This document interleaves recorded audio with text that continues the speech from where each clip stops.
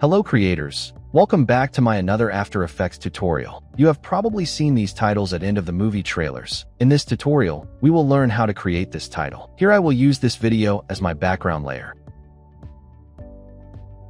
Let's add the main text. Adjust the title and make required changes. Position it slightly above. Now for text, let's add tracking. At 2 seconds, create keyframe for tracking. At the start, set tracking to 30.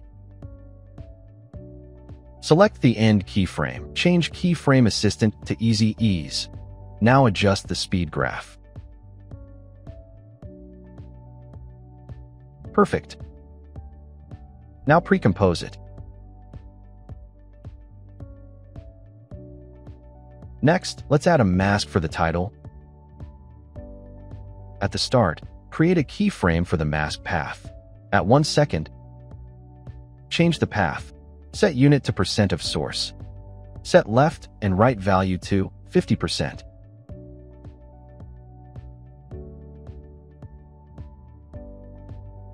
Set mask feather to 300. Now select inverted.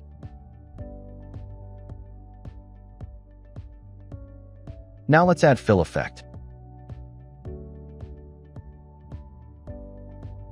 Next, create duplicate of this title. For below title, add the fast box blur effect. Set blur radius to 5 and set iteration to 1. Perfect. Now let's add our remaining subtexts.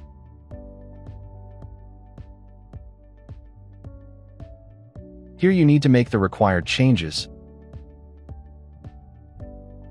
Adjust the text to the center. Now place it above the main text. Now let's create opacity keyframe. At 1 second, create keyframe for opacity. At start, set opacity to 0.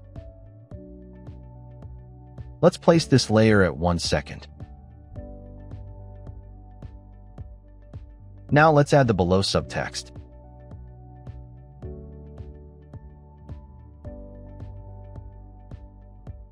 Position it below the main title. We will create an opacity keyframe for this layer as well. At 1 second create keyframe for opacity. Now at start, set opacity to 0%. Now place it as shown.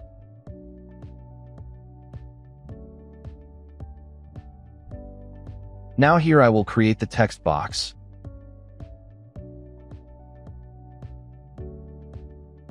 Here I will add this text.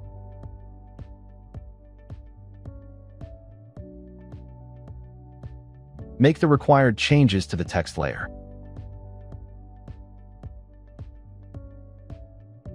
We will create opacity keyframe for this layer as well. At 1 second create keyframe for opacity. Now at start, set opacity to 0%.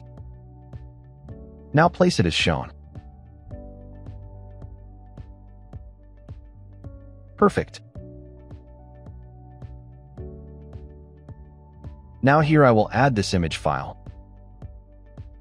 Here I will scale it to 35%. Position it below. We will create opacity keyframe for this layer as well. At 1 second, create keyframe for opacity. Now at start, set opacity to 0%. Now place it as shown. Now for this image, I will change mode to add. Perfect, now you can see the complete preview. Thank you guys for watching this tutorial. If you want this exact project file, then DM me on Instagram and I will send the project file to you.